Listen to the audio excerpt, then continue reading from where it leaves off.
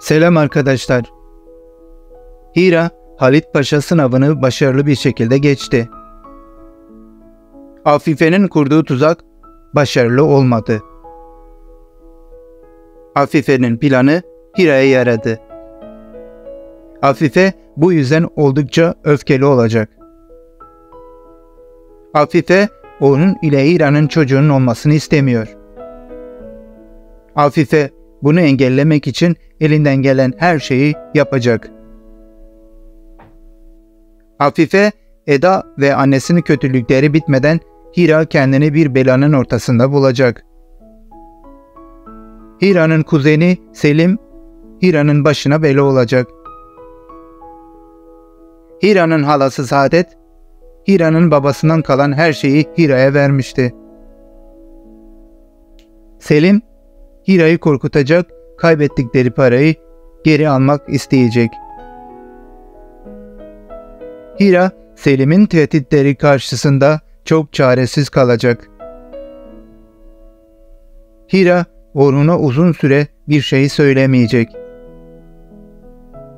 Orhun, Hira'nın tedirgin ve dalgın davranışlarından dolayı bir sorun olduğunu anlayacak.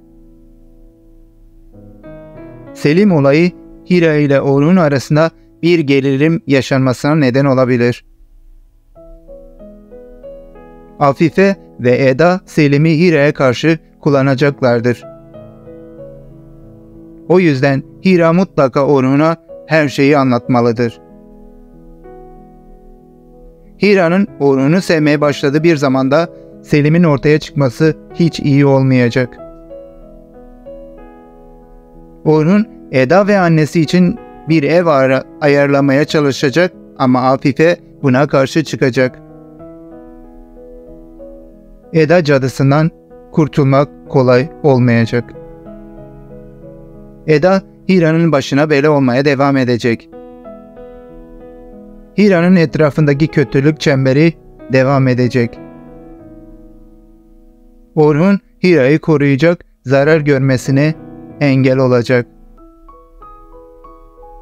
Kenan'ın Meryem ve Nefes ile birlikte ayrı evde yaşaması onları çok mutlu edecek.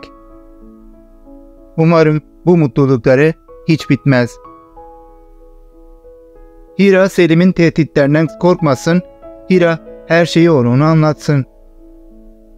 Orhun Selim'in Hira'ya zarar vermesine izin vermesin.